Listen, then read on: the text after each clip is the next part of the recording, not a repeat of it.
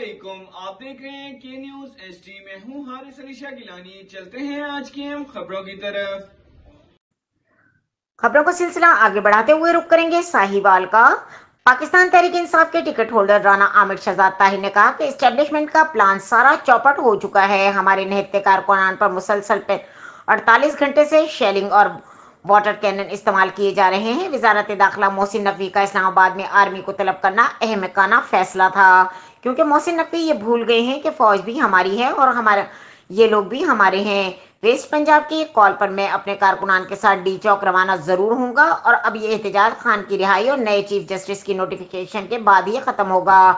लिहाजा हम पुरअमन लोग हैं। हमें पुरअमन तरीके से डी चौक पर एहतजाज करने की इजाज़त दी जाए। अली अमीन गंडापुर को गायब करने की मैं पुरजोर मजम्मत करता हूँ और रियाती इदारों को कहना है, चाहता हूँ कि एहतजाज को जंग ना बनाएँ।